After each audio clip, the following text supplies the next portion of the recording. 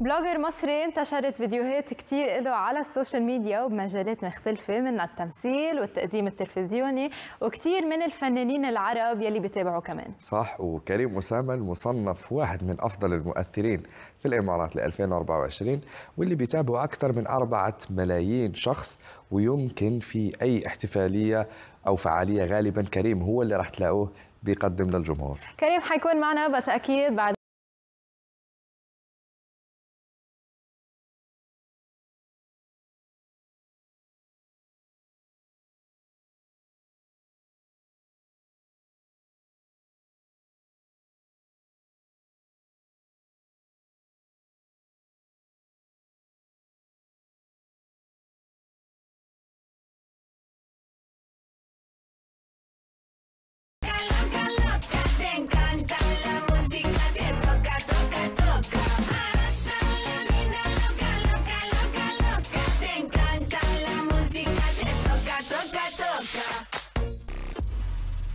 خلونا نرحب هلا بكريم أسامة شو أخبارك كريم؟ آه حبيبي أهلا وسهلا. إخواتي وأصحابي والنهاردة جايين في وسط ناس بنحبها حاسس إن الأجواء حلوة مستمتع وفرحان.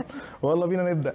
أكيد. أول سؤال عندي كريم اللي هو صار من كم يوم كيف قدرت تكون أو تربح جائزه آه، أحسن صانع محتوى في الإمارات؟ دي الجايزة الغالية على قلبنا جدا. آه دي بناخدها للسنة الثانية يمكن آه، بنوريها للكاميرا أهي.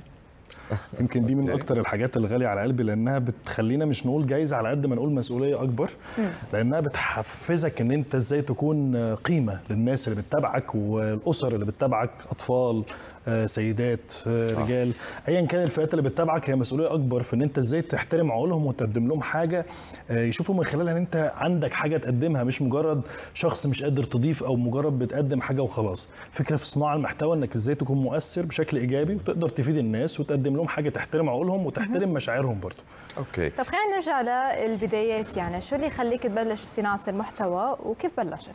والله الموضوع جه من دراستي. أنا خريج أكاديمية الفنون قسم تمثيل وإخراج أول دفعتي أربع سنوات وبعد كده دراسات عليا بعد كده مكمل ماجستير بعد كده الموضوع كبر أكتر في إن أنت بتقدم إيه خارج الصندوق تخلي الناس تشوف إن الشخص ده عنده حاجة مختلفة؟ الناس عندها حالة boring أو حالة إن هم الناس بتمل بسرعة جدا. صحيح. ففكرة إن أنت ك- كشخص بتحاول أنت تقدم لهم entertainment الناس بتحاول جدا تميل للشكل الجديد. الفكرة الجديدة هي اللي بتجتذب الناس. عمرك ما هتقدم حاجة عادية والناس هتقول لك الله برافو. okay. الحاجة اللي دايما غير متوقعة وخارج الصندوق هي الحاجة اللي بتخلي الناس دايما تحترمك وتشوفك إن أنت مختلف. صحيح. ويمكن ده ال way اللي إحنا اعتمدنا عليه سواء كان تمثيل في المسلسلات اللي أنا شاركت فيها من أول بدايتي مع الأستاذ عادل إمام الفنان العظيم والزعيم لحد ما قدمنا إعلانات على ال social media لحد ما قدمنا حتى آه، تغطية لبعض المشاريع الحكومية إسعاد Dubai Police آه، آمر آه، Smart Salem ال- ال community العظيم اللي إحنا عايشين فيه في دبي اللي دايما بيسعى للتطور ويسعى دايما. لفكرة الشخص اللي عنده حاجة جديدة أو موهوبة أو عنده حاجة بتميزه بتفتح له أبواب عظيمة. أوكي. طب حكيت عن التمثيل والتقديم. بدي اعرف شو اللي بتفضل بيناتهم؟ والله بص الفن كله دايرة واحدة.